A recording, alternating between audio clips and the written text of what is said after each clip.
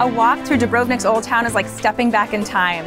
You can stroll the limestone streets, peruse the many shops and restaurants, or relax in the stunning plazas.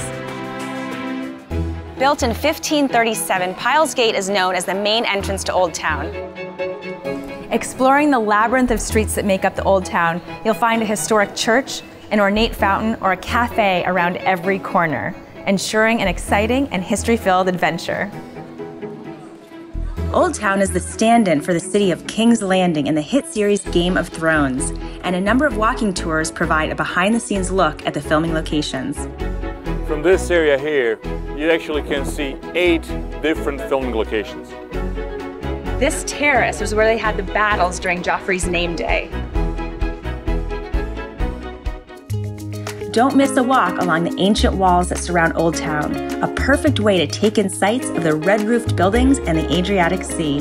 Wow! And for panoramic views of Old Town, take a four minute cable car ride up Mount Srd. Easily one of the most beautiful buildings in the Old Town, the Church of St. Blaise is named after Dubrovnik's patron saint.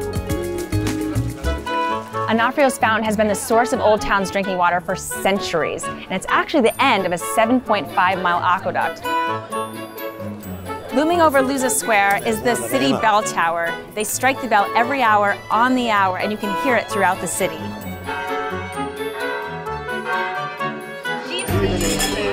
Another way to experience the culture of Dubrovnik is through a food and wine tour that leads you through Old Town's out of the way alleys and courtyards.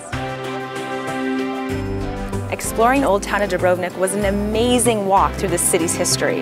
It's incredible to think they've been standing here for centuries and remain today for us to enjoy.